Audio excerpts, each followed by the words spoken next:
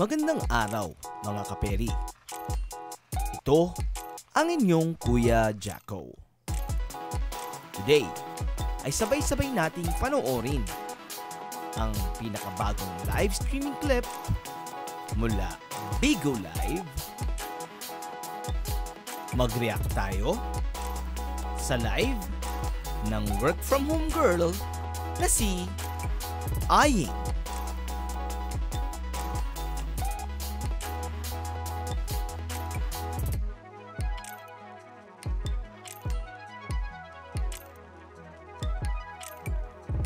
Sadyang napakasipag nitong si Aying. Kasi naman, kahit nag-work from home siya, eh, nagagawa pa niyang mag-live. Madami na rin akong nakikita na work from home na nagla-live sa TikTok. Pero, first time ko makakita dito sa Bigo.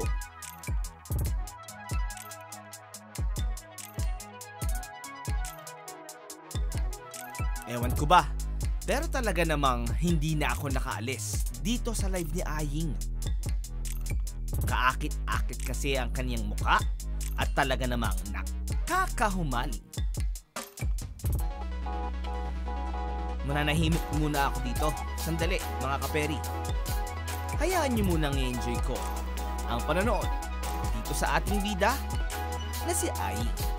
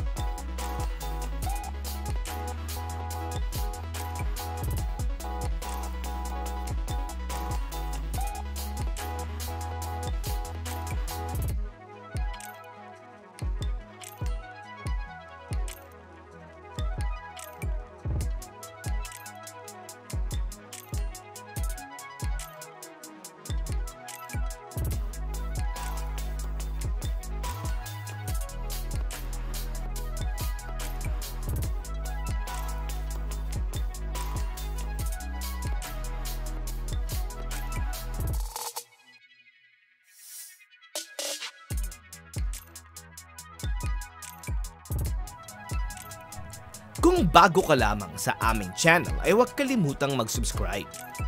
Ang Pinay Periscope ang magdadala sa iyo ng mga latest at update sa mga pinag-uusapang chika babes sa Philippine social media.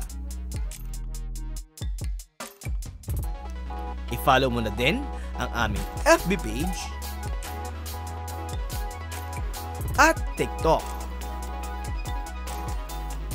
Mag-like, comment, share, and subscribe. Enjoy mo! See you in the next video!